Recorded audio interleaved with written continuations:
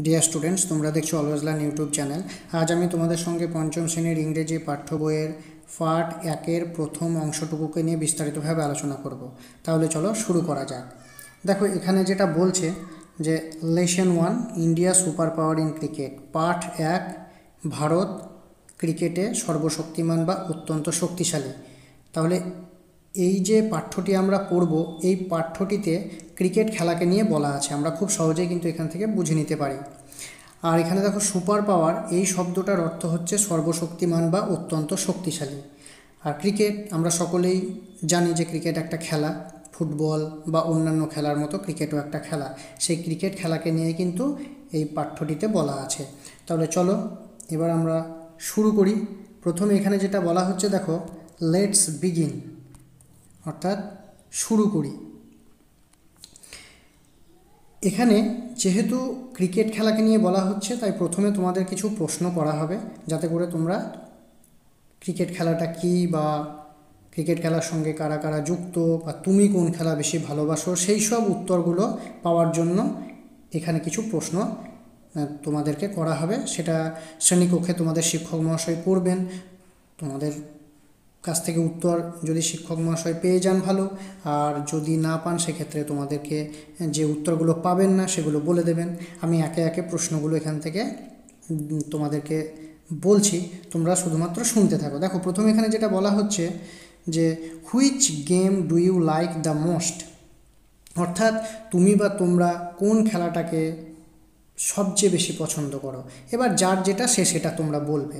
তারপরে যে প্রশ্নটা এখানে রাখা হচ্ছে, দেখো যে লুক অ্যাট দ্য পিকচার দেখো এখানে একটা ছবি দেওয়া রয়েছে, এই যে আমি দেখাচ্ছি, তোমরা আশা করি দেখতে পাচ্ছ, এই যে একটা ছবি, তো সেই ছবির দিকে তোমাদের তাকাতে বলছে, তারপর বলছে can you guess who these people are আর তারপর তোমাদের শিক্ষক মহাশয় শ্রেণীকক্ষে তোমাদের জিজ্ঞাসা করবেন যে, তোমরা কি অনুমান করতে পারছ? এই মানুষগুলো কারা? যদি তোমরা জানো নাম, অবশ্যই বলবে, যদি না জানো, তোমরা অবশ্যই শিক্ষক মহাশয়ের কাছ থেকে জেনে নেবে। তারপরের যে প্রশ্নটা এখানে করা হয়েছে, দেখো who is your favourite cricketer মানে কে? তোমার বা তোমাদের প্রিয় ক্রিকেটার মানে ক্রিকেট খেলোয়াড় আর কি। যিনি ক্রিকেট খেলেন, তাকে ক্রিকেটার বলা হয়। এবার যার যে প্রিয় ক্রিকেটার থাকবে, সে তার নামটা শিক্ষক মহাশয়কে বলবে। এই গেল মোটামুটি আমাদের প্রথমে কিছু প্রশ্ন এই পাঠ্যটিকে নিয়ে। এবার আমাদের মূল পাঠ্যটি কিন্তু শুরু হচ্ছে লেটস রিড এই জায়গা থেকে। লেটস রিড পড়ি আর কি এরকম, বা পড়া যাক। দেখো, এখানে যেটা বলছে প্রথমেই Rahul is very excited today আশা করি তোমরা দেখতে পাচ্ছ। Rahul is very excited today Rahul আজ প্রচণ্ড উত্তেজিত, বা খুব উত্তেজিত, বা খুব উদ্দীপ্ত। এক্সাইটেড কথার অনেক অর্থ হয় মানে এক্সাইটেডের ইংরাজি শব্দটার অনেক অর্থ হয়। এবার তোমরা এটাকে উদ্দীপ্ত বলতে পারো উত্তেজিত বলতে পারো বা উতলাও বলতে পারো। তাহলে Rahul is very excited today তাহলে রাহুল হলো আজ খুব উত্তেজিত বা প্রচণ্ড উত্তেজিত। He has just finished watching a cricket match in which India beat England in a close finish সে সদ্য একটি ক্রিকেট খেলা দেখা শেষ করেছে, যেখানে ইন্ডিয়া ইংল্যান্ডকে খুবই কম ব্যবধানে হারিয়েছে। ক্লোজ ফিনিশ মানে হচ্ছে খুবই কম ব্যবধান। আশা করি বোঝাতে পেরেছি। আর হ্যাজ জাস্ট ফিনিশড ওয়াচিং মানে সদ্য দেখা শেষ করেছে আর কি। কী দেখা শেষ করেছে? ক্রিকেট ম্যাচ একটা ক্রিকেট খেলা। In which India beat England সেখানে কি হয়েছে? সেখানে ভারত ইংল্যান্ডকে পরাজিত করেছে। এবার দেখো আমরা পরের লাইনটা পড়ব। India is finally a super power in cricket now he exclaimed in glee উৎফুল্ল হয়ে চিৎকার করে সে বলে উঠল যে ভারতবর্ষ মানে ভারত, কি হলো? অবশেষে ক্রিকেটে সর্বশক্তিমান হলো বা অত্যন্ত শক্তিশালী হলো। সুপার পাওয়ার মানে আমি তোমাদেরকে বলেছি যে সর্বশক্তিমান বলতে পারো কিংবা অত্যন্ত শক্তিশালীও বলতে পারো। এবার আমরা পরের পাতা থেকে দেখে নেব। দেখো, পরের পাতায় কি বলছে? His that's right but all this started way back in eight nineteen eighty three when India beat West Indies to lift the world cup for the first time তার বাবা বললেন, তা ঠিক, কিন্তু এর শুরু সেই বহুকাল আগে উনিশশো তিরাশি সালে, যখন ইন্ডিয়া, অর্থাৎ ভারত ওয়েস্ট ইন্ডিজকে হারিয়ে প্রথমবারের জন্য বিশ্বকাপ জিতেছিল। তার মানে ভারতবর্ষ প্রথম বিশ্বকাপ কত সালে পেয়েছিলেন? উনিশশো তিরাশি সালে। কারণ সে বছরই ভারতবর্ষ প্রথমবারের জন্য চূড়ান্ত খেলায় ওয়েস্ট ইন্ডিজকে হারিয়ে প্রথমবারের জন্য বিশ্বকাপ পেয়েছিল। পরের অনুচ্ছেদ Rahul's father a great cricket lover like him handed him a yellowish newspaper cutting রাহুলের বাবা, যিনি রাহুলের মতোই বড় ক্রিকেট প্রেমী, রাহুলের হাতে একটি হলদে রঙের খবরের কাগজের কাটা অংশ দিলেন। What's this Rahul asked his father এটা কি রাহুল তার বাবাকে প্রশ্ন করল? This is from a newspaper of twenty six June nineteen eighty three just the day after India won the world cup cricket for the first time his father replied with a smile এটা ছাব্বিশে June উনিশশো তিরাশি সালের খবরের কাগজের অংশ। India প্রথমবার বিশ্বকাপ জেতার ঠিক পরের দিন তার বাবা হেসে তাকে উত্তর দিলেন। I was in class seven then and I have kept it with me all this days আমি তখন সপ্তম শ্রেণীতে পড়ি, এবং আমি ততদিন ধরে এটাকে আমার কাছে রেখে দিয়েছি। Go through it and tell me how you feel about it he added তুমি এটাকে পড়ো আর পড়ে কেমন অনুভব করলে সেটা আমাকে বলো, তিনি আরও বললেন। পরের অনুচ্ছেদ। After dinner Rahul started reading the old yellowish paper cutting রাত্রের খাবারের পর রাহুল পুরনো হলদে কাগজের টুকরোটা পড়া আরম্ভ করল বা পড়তে শুরু করল। On twenty fifth June nineteen eighty three Lord's the famous cricket ground in England was fully packed for the final showdown সে জানতে পারল যে পঁচিশ জুন উনিশশো তিরাশি সালে ইংল্যান্ডের বিখ্যাত ক্রিকেট মাঠ লর্ড সম্পূর্ণরূপে দর্শকে ভরে গিয়েছিল চূড়ান্ত খেলার ফলাফল জানার জন্য। ফাইনাল শোডাউন মানে হচ্ছে চূড়ান্ত খেলার ফলাফল বা খেলার শেষ জানার জন্য। খেলার শেষ জানার জন্য মানেই হচ্ছে ফল ফল জানার জন্য। Thousands of people came to watch the match হাজারে হাজারে মানুষ সেই খেলাটি বা ম্যাচটি দেখতে এসেছিল। মানে হাজার হাজার মানুষ খেলা দেখতে এসেছিল। It was a grand event after a period of four years since the last world cup final in nineteen seventy nine উনিশশো উনআশি সালে শেষ বিশ্বকাপের চার বছর পর সেটা একটা দারুণ ঘটনা ছিল। মানে উনিশশো উনআশি সালে যে শেষ বিশ্বকাপ হয়েছিল মানে একটা চার বছর কালের পর মানে চার বছর কাল ধর চার বছর পর পর হয় তো বিশ্বকাপগুলো? তো চার বছরের পর যখন উনিশশো উনআশি সালের চার বছর পর মানে উনিশশো তিরাশি সালই হচ্ছে, তো উনিশশো উনআশি সালে বিশ্বকাপে, শেষ বিশ্বকাপের চার বছর পর মানে উনিশশো উনআশি সালে শেষ বিশ্বকাপ মানে কি? সেইবারের যে বিশ্বকাপটা হয়েছিল, তার বছর, তারপরে যদি আরও চার বছর যোগ করা হয়, তাহলে কত হয়? উনিশশো তিরাশি হয়। তার জন্য বলা হচ্ছে উনিশশো উনআশি সালে শেষ বিশ্বকাপের চার বছর পর সেটা একটা দারুণ ঘটনা ছিল। এই গেল মোটামুটি তোমাদের প্রথম অংশটুকু বাংলা অনুবাদ। এবার আমরা এখান থেকে যেসব শব্দগুলো একটুকু কঠিন বা যেগুলোকে তোমাদের অবশ্যই মনে রাখতে হবে, সেই সব শব্দগুলোর একটুকু বাংলা অর্থগুলো জেনে নেব। আমি প্রথমেই তোমাদের টাইটেল থেকে মানে শিরোনাম যেটা দেওয়া আছে সেখান থেকেই তোমাদের আন্ডারলাইন করে করে দেখাচ্ছি। তোমরা শুধুমাত্র মনোযোগ দিয়ে দেখতে থাকো। দেখো, এখানে যেটা বলছে সুপার পাওয়ার আমি তোমাদেরকে এটা একবার বলেছি তবু আরও একবার বলে দিচ্ছি। সুপার পাওয়ার শব্দের অর্থ হচ্ছে সর্বশক্তিমান বা অত্যন্ত শক্তিশালী যে কোনো একটা তোমরা বলতে পারো। তারপর দেখো লেটস বিগিন থেকে যে প্রশ্নগুলো করা হয়েছিল, তার মধ্য থেকে যে যে শব্দগুলো একটুকু গুরুত্বপূর্ণ, তোমাদের মনে রাখতে হবে বা বাংলাগুলো একটু জেনে নেওয়া উচিত, সেই সেই শব্দের বাংলা অর্থগুলো আমি বলে দিচ্ছি, তোমরা দেখতে থাকো। দেখো গেম গেম শব্দের অর্থ হচ্ছে খেলা, এখান থেকে তেমন আর কিছু নাই ফেভারিট ফেভারিট মানে হচ্ছে প্রিয়, আর সবই মোটামুটি তোমরা জানো। এবার আমরা পরের অনুচ্ছেদ থেকে দেখে নেব।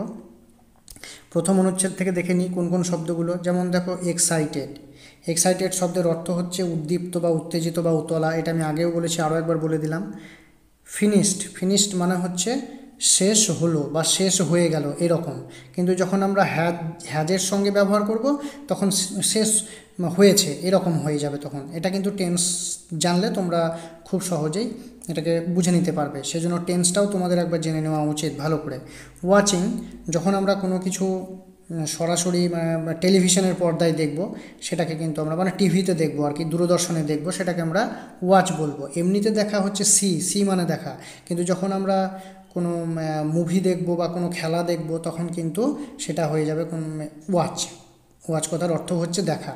কিন্তু টেলিভিশনে বা দূরদর্শনের পর্দায় দেখাকে ওয়াচ বলা হয়। তারপরে দেখো এখান থেকে ক্লোজ ফিনিশ ক্লোজ ফিনিশ মানে হচ্ছে খুবই কম ব্যবধানে, একদম খুব কম মানে ব্যবধান নেই বললেই চলে। খুব সামান্য ব্যবধান সেটা, কম ব্যবধান। সে, এই ক্লোজ ফিনিশের অর্থ হচ্ছে তাই। তারপরে দেখো ফাইনালি মানে হচ্ছে শেষ পর্যন্ত, এটা তো আমি বলেছি এক্সক্লেমড এক্সক্লেমড মানে এই এক্সক্লেমড শব্দটার অর্থ হচ্ছে চিৎকার করে বলা।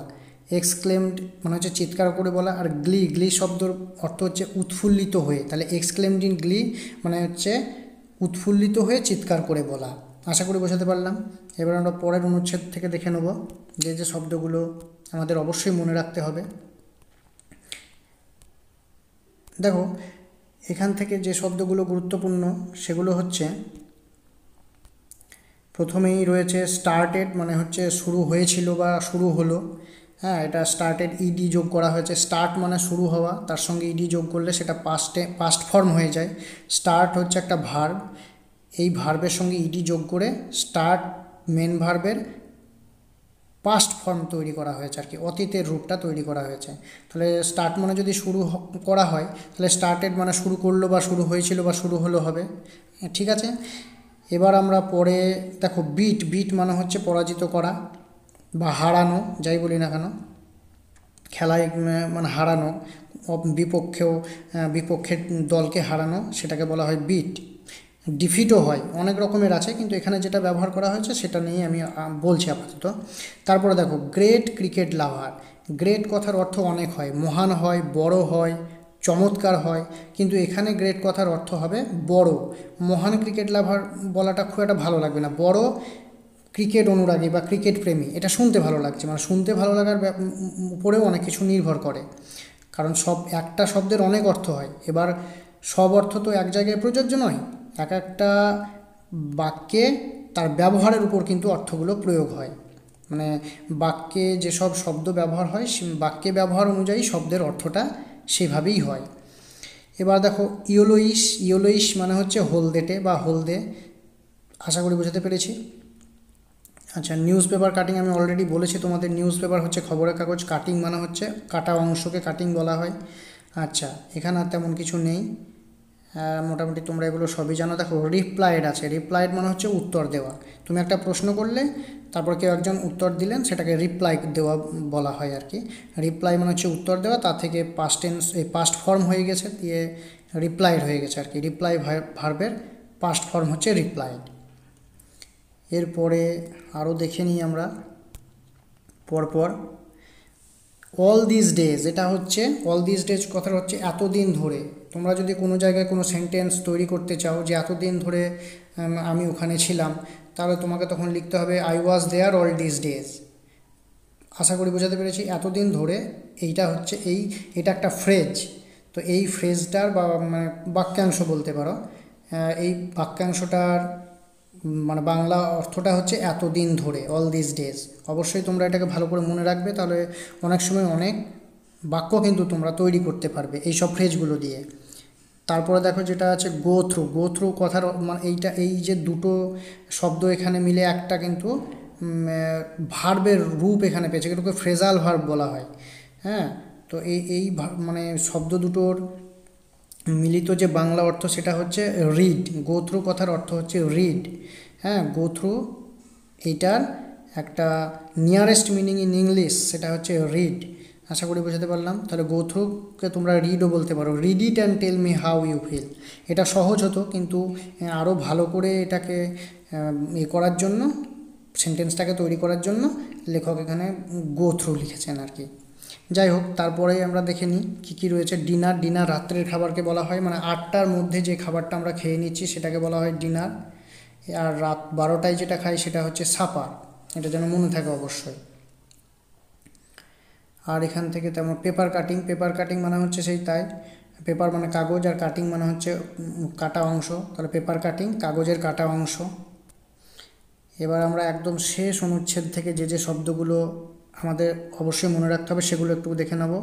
লার্ন লার্ন থেকে এসছে। লার্ন মানে হচ্ছে জানা বা শেখা। তা থেকে লার্ন হয়েছে, অর্থাৎ লার্ন ভার্বের পাস্ট ফর্ম হচ্ছে লার্ন ফেমাস ফেমাস মানে বিখ্যাত হয়। ফেমাস মানে জনপ্রিয় হয়, অনেক অর্থও হয়। তবে বিখ্যাতটাই বেশি প্রযোজ্য হয়। আশা করি বোঝাতে পেরেছি, গ্রাউন্ড মানে হচ্ছে মাঠ। আচ্ছা ফাইনাল শোডাউন, এটা আমি বলেছিলাম আরও একবার বলে দিচ্ছি। শেষ মানে চূড়ান্ত শেষ খেলা, ফাইনাল শোডাউন, চূড়ান্ত শেষ খেলা। ফাইনাল মানে হচ্ছে চূড়ান্ত, আর শোডাউন মানে হচ্ছে শেষ খেলা। তাহলে, বা চরম খেলা, চূড়ান্ত, চরম খেলা বা চূড়ান্ত শেষ খেলা। যেটা মনে হবে সেটা তোমরা বলতে পারো। থাউজেন্ডস অফ পিপুল মানে হচ্ছে হাজার হাজার মানুষ। থাউজেন্ডস অফ মেন মানে হচ্ছে হাজার হাজার মানুষ। হান্ড্রেডস অফ পিপল মানে হচ্ছে শয়ে শয়ে মানুষ। তাহলে শয়ে শয়ে হাজারে হাজারে এই সব মানে শব্দগুলো দিয়ে যদি তোমরা কোনো সেন্টেন্স তৈরি করতে চাও, তখন কিন্তু এই থাউজেন্ডস অফ পিপল বা হান্ড্রেডস অফ পিপল এগুলো লিখতে হবে। সুতরাং এগুলো যদি তোমাদের জানা থাকে, তোমরা বিভিন্ন পরীক্ষায় তোমাদের এই সব পরীক্ষাতে ক্লাসের বা শ্রেণি শ্রেণির যেসব পরীক্ষা হবে, সেখানেও তোমরা ভালোভাবে সেন্টেন্স তৈরি করতে পারবে।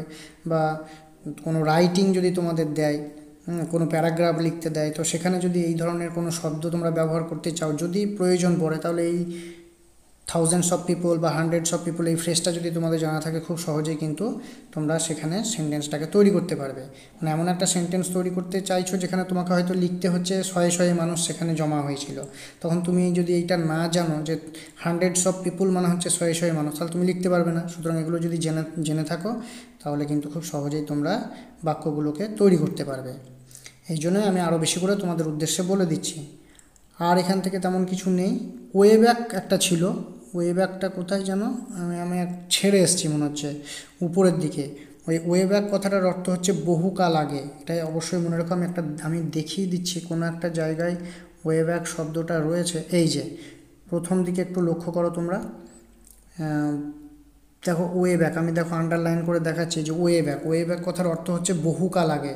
তাহলে way back in nineteen eighty three মানে বহুকাল আগে উনিশশো তিরাশি সালে। এইরকম হয়ে যাবে অর্থটা।